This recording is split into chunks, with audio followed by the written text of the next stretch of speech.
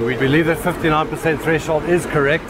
That was uh, determined at the NIASA workshop uh, along with Eskom that given the full utilization of all South African resources, we can achieve 59% for a new nuclear build program. DCD in the past has been involved in all the nuclear build programs in South Africa. The SAFARI 1 reactor at Pelindaba, we built components for that. The uh, PBMR contract uh, at Pelin, also at Pelindaba, we built valve block assemblies, pressure vessels and the core unloading device. And we are currently engaged with Eskom government and the vendors on the new nuclear build program.